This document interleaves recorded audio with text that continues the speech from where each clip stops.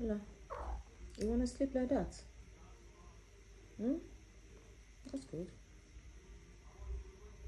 Have a good rest.